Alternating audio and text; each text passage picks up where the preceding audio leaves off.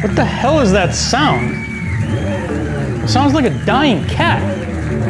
There it is again. What the fuck is this thing?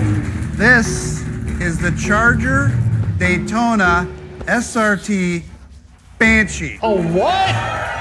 It's electric? So you made a fake muscle car? I'll be damned. A charger that needs a charger. Does it clean my carpets too? No one wants cars anymore. Nobody wants a Dodge anymore. Dodge is the tattoo of the industry. Yeah, because you regret getting it the next day. Reimagine the most iconic muscle car ever. You mean the 67 Pontiac GTO? The first challenge was to make a muscle car aerodynamic. It has a grill. And why does an electric car have a grill? This Daytona will be legendary for the R-Wing pass-through that you see here. What the fuck is an R-Wing pass-through?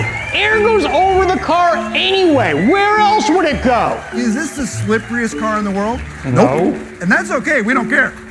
We're willing to give up some range to look badass. Adding ass to the end of bad doesn't make it good. While other EVs are focused on keeping quiet, we amplified ours. Thanks to the patented Fratzonic chambered exhaust. The Fratzonic chamber of what? Isn't that a Harry Potter movie? Why does an electric car have an exhaust? I don't care if it's an EV. If it's a Dodge, it needs a loud pedal. And the Charger Daytona has the first one ever.